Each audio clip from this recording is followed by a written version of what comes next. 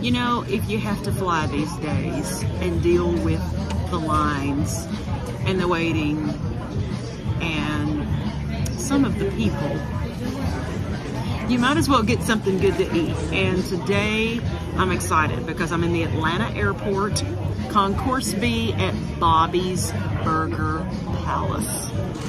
Very excited. Uh, I used to go there in Las Vegas when they had one there.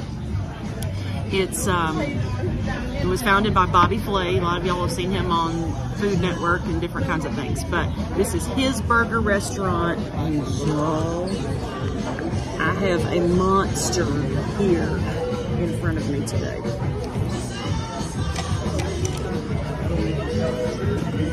It was so hot I almost can't pick it up.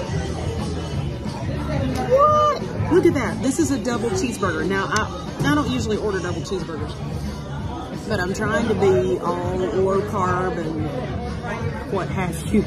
I can't even say healthy with a straight face because clearly this isn't. Um, but I got the double because I'm going to take the bun off when I eat the rest of it. But I'm going to take one bite with the bun on so that you guys can get the full effect of my bite. So here we go. The double cheeseburger. It's just plain Bobby's Burger Bells. Here we go.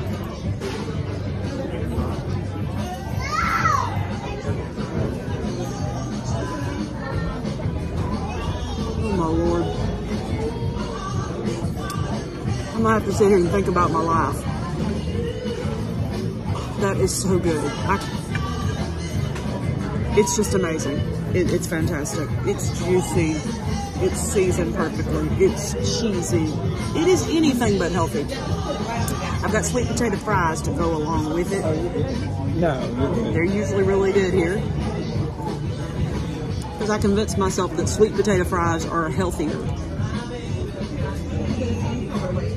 But I am drinking a Diet Coke, so that that cancels all of it out. You have double cheeseburger, sweet potato fries, and Diet Coke. It's a balanced meal. So, next time you're in the Atlanta airport, Concourse B, Bobby's Burger Palace. Whew, Lord, you got to try it.